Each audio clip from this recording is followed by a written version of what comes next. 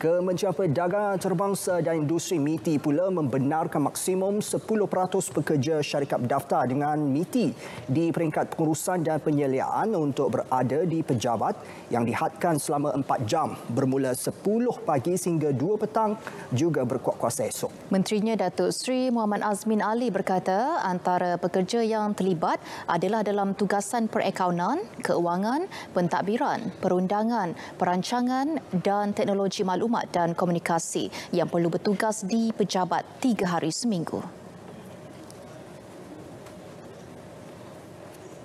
Langkah itu dibuat berikutan keputusan sidang khas Majlis Keselamatan Negara MKN yang dipengerusikan Perdana Menteri semalam selain mengambil kira keperluan pihak industri yang memerlukan kehadiran sebilangan kecil pekerja peringkat pengurusan dan penyeliaan ke pejabat syarikat tidak perlu mengemukakan permohonan dan hanya perlu mengeluarkan surat perlepasan perjalanan bagi setiap kaki tangan yang dibenarkan bekerja sepanjang tempoh PKPB.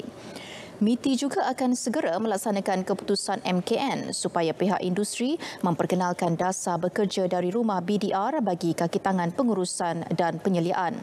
Majikan perlu menetapkan garis panduan BDR yang bersesuaian mengikut keperluan syarikat masing-masing.